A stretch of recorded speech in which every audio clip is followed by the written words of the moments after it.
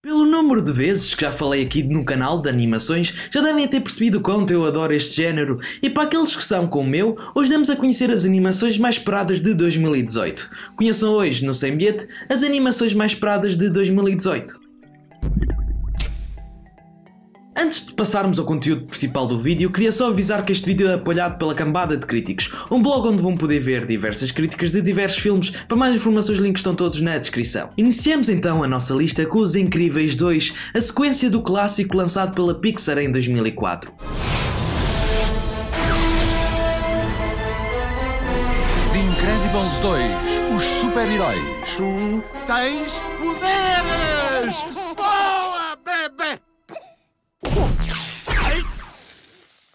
O filme será uma continuação direta do primeiro, e os acontecimentos do mesmo serão os momentos seguintes após o término do primeiro filme. Já agora, caso queiram uma teoria sobre este segundo filme, digam aí embaixo nos comentários. Ainda falando de continuações, temos a animação Hotel Transilvânia 3 e contaria uma nova aventura dos personagens que já todos conhecemos.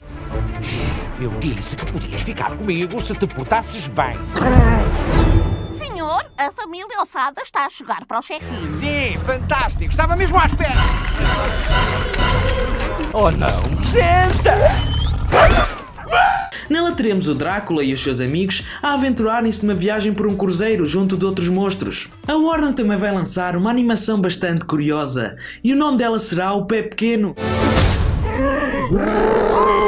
Monstro mítico, saído diretamente dos vossos piores pesadelos, com olhos ferozes, uma cara medonha e pés que são surpreendentemente estranhamente pequenos!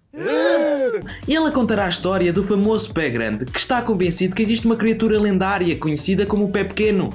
E para quem se pergunta quem é esse Pé Pequeno, a resposta é nós próprios, humanos. Outro filme que eu aguardo pela sua estreia é sem dúvida o Grinch, uma nova adaptação de uma história já muito conhecida, muito por causa da live action lançada nos anos 2000. No que toca à história também sabemos muito pouco, mas vem com a promessa de mostrar um pouco mais da origem do Grinch. Para terminar a nossa lista, temos uma animação chamada O Homem-Aranha no Aranha Verso.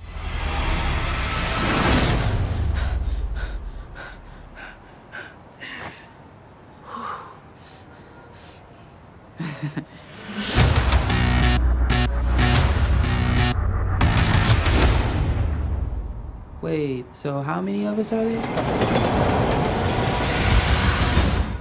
e ela irá abordar a história de um dos universos alternativos do Homem-Aranha. Já agora, para curiosidade, diferente das histórias que já foram adaptadas para o cinema e para a televisão, nesta não seguiremos a vida do famoso Peter Parker, mas sim a de um rapaz chamado Miles Morales. Este foi o final do nosso vídeo e como poderão ver, este ano temos um ano com animações bastante interessantes. No entanto, ao contrário dos últimos anos, podemos ver uma pequena redução na quantidade de animações, dando o exemplo da DreamWorks, que este ano ainda não revelou nenhum projeto para 2018. Não se esqueçam de deixar o vosso forte like e de subscrever o canal para não perderem os próximos vídeos. E não se esqueçam também de passar pelo blog Cambada de Críticos, o lugar ideal para descobrir se vale ou não a pena ir ver aquele filme ao cinema. Tchau!